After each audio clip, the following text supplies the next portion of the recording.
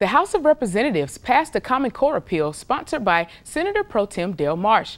Common Core standards describe what students should know before passing each grade, and Marsh believes it's time to move on from Common Core education and focus on new standards. Marsh says students learn best when innovation takes place in the classroom, which is not happening with the current system. The bill will now be voted on by Alabamians during the 2020 primary elections. If accepted, the bill would replace the current elected State Board of Education with members appointed by the governor and confirmed by the state Senate.